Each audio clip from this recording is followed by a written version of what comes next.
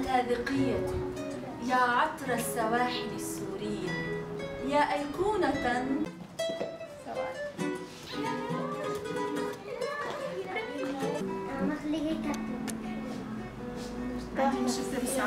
مجال شغلي بالواقع هو تدريب الكوادر الشبابية والأسرية أيضا على موضوع القيادة والإبداع. أه، ببحث كثير بموضوع نشر فكرة صناعة القائد وصناعة المبدع أه، بمجتمعاتنا العربية. وبركز عموما على تعزيز دور المرأة وخاصة دور الأسري والمهني بنفس الوقت. هذا بشكل مختصر وهالشي بيتم طبعا عبر سلسلة من المحاضرات والكورسات اللي بقدمها بمختلف الأماكن التدريبية سواء داخل مصر أم خارجها. آه، أنا تقريبا بمصر إلي من 2012 وقدرت خلال هالأربع سنوات أسس شركة تدريب. ومن خلالها قدرت أنطلق بساحات مصر التدريبية بجامعات مصر كلها. حبيت اليوم اختار لكم معلومة من الكتاب هن مجلدين طبعا. واحد منهم بيحكي عن إعجاز رب العالمين في عالم الأسماك. حناني حناني حناني.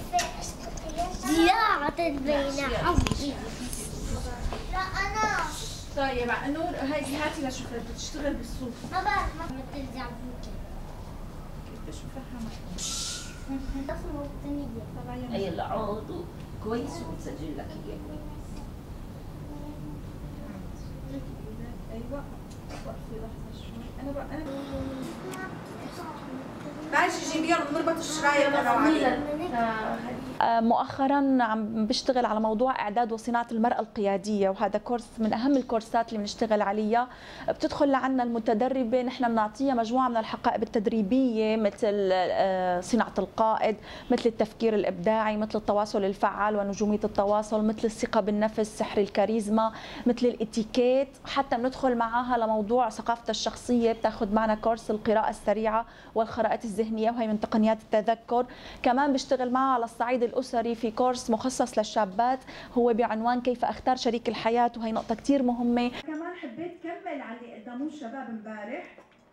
حنعمل مع بعض بعد شوي تجربة. حنشبه إنه هذا القدح الصغير هي حياتنا.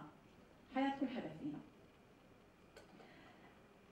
نخلق على الفطرة. نخلق منحب الخير. فرصة نرجع من جديد نستعيد طاقتنا. ونزيل كل السواد اللي بقلبنا بالاستعانة برب العالمين. بالواقع جيتي على مصر كان إلى قصة. أنا بداية الأحداث بسوريا وبداية انطلاق الثورة السورية طبعا كنا جوا وحضرت سنة كاملة من أحداث الثورة السورية ما بين 2011 ل 2012 وكان القصف لما يبدأ يجي علينا كنت يعني أنبطح أنا وزوجي وأولادي على الأرض على الأرض لحتى نحمي حالنا من الرصاص اللي داخل من الشبابيك يعني. فسنة كاملة من الأوجاع آه، ونحن قاعدين جوا. بعدين اضطريت انزح أنا وأطفالي من سوريا إلى مصر بسبب إنه أخي أصلا كان هون وتعرض لمشكلة صحية كبيرة وكان لازم أنا أكون معه. إحنا كل فترة دراستنا بجامعة زويل نتذكر فلسفة الخيزران نتذكر ولكن بشكل عام أنا تعلمت من دكتور طارق فلسفة ال- البذور وقانون فن الإبداع وما إلى ذلك. وحدة لا مجرد دارسه بس دراسة جامعيه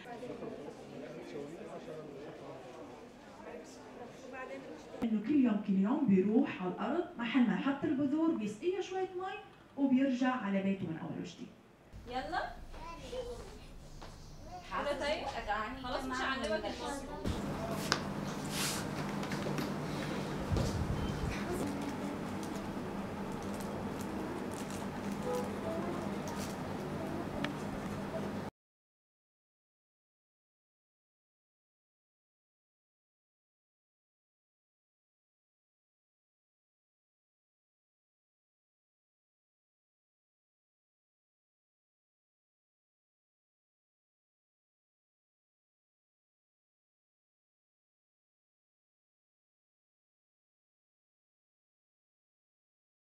هو بالواقع بداية جيتي على مصر جيت مع زوجي وأولادي وأصلا أهلي كانوا موجودين هون من قبل مني.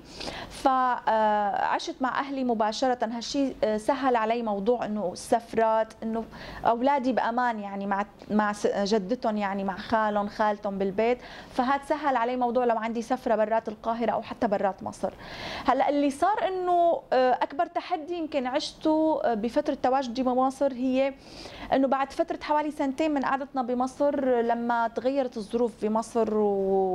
وتغير الوضع كلياته كثير من السوريين نزحوا عبر رحلات الهجرة غير الشرعية طبعا من خلال شواطئ مصر املا في الوصول إلى بلاد أوروبا املا في حياة أحسن املا في مستوى نفسي أحسن حتى بالنسبة لاطفالنا امل املا في مستوى دراسي أفضل يعني فكان زوجي من أحد الناس اللي طلعت بهي الرحلات الهجرة غير الشرعية فيني أعتبرك إياها إنه ممكن عم نمر كنا بلحظة يأس لحظة إنه خلص بدنا بداية جديدة بعد ما فقدنا الأمل بكل شيء يعني. للأسف الرحلة له ما وصلت وغرق مع 450 شخص في بحر البحر المتوسط. فهذا كان أكبر تحدي لإلي إنه أنا كأم سورية نزحنا من تحت الحرب وفقدت زوجي ومعي أربع أطفال. كيف بدي كمل؟ كيف بدي أعيش؟ كان قدامي طريقين. إما إنه استسلم وانكسر واستسلم للأحزان وعيش حياة عادية هيك اكتفي بإنه حدا يساعدني مثلا أو إنه اختار الطريق الثاني إنه كمل وكمل برسالة التدريب وبرسالة الإعلام بالإضافة لرسالة الأمومة اللي أنا عم امارسها مع أولادي. بالنسبة لها المحطه الاخيره المفروض يكون بدايه أكيد طبعا. ياسمينه كانت جنباتي دائما ياسمينه بتشبه المرأة. بشكل عام يا هشام